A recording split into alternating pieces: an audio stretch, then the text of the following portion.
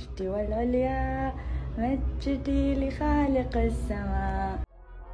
أثارت الفنانة شيلاء سبت ضجة واسعة على مواقع التواصل الاجتماعي بعد انتشار فيديو لها ظهرت فيه وهي تهين المملكة العربية السعودية الأمر الذي دفع بالشعب السعودي بمطالبة السلطات بعدم السماح لها بالدخول إلى البلاد مجددا.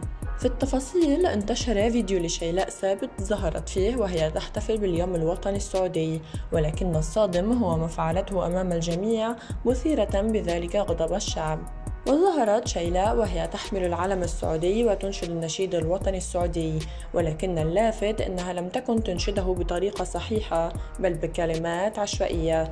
الأمر الذي اعتبره البعض أنها تهين المملكة والملك السعودي كذلك أو أنها تتقصد بلفت النظر من أجل الزواج برجل سعودي كما ادعى البعض.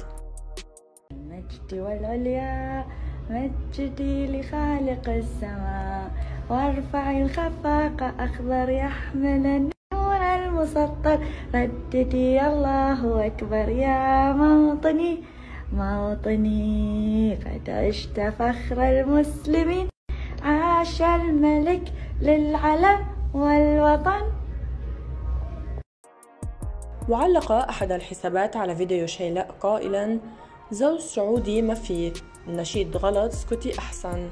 الجدير بالذكر أنه كانت قد خرجت الفنانة البحرينية شيلاء سبت عن صمتها لترد على الانتقادات التي طالتها من المتابعين الذين اتهموها بتعمد الترويج المضلل من أجل عمل دعاية واسعة لأغنيتهما مع الفنان اليمني فؤاد عبد الواحد. وجاء ذلك بعدما أثار تساؤلا حول ارتباطهما إثر نشرهما صورة جمعتهما عبر حساباتهما على شبكات التواصل الاجتماعي مرفقة إياها بعبارة الحمد لله.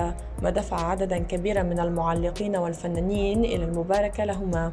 وقالت سبت الجمهور هو من فسر الصورة على طريقته لا سيما أنني لم أضع خاتم الخطوبة ولم أكتب تم عقد قراني أو ما يوحي بأن هناك زواجا. وأضافت لا والله صدق شو أنا طلعت الإشاعة؟ يعني دشوا أكونتاتي شوفوا كتبت الحمد لله والكلمة تقال في كل وضع الحمد لله.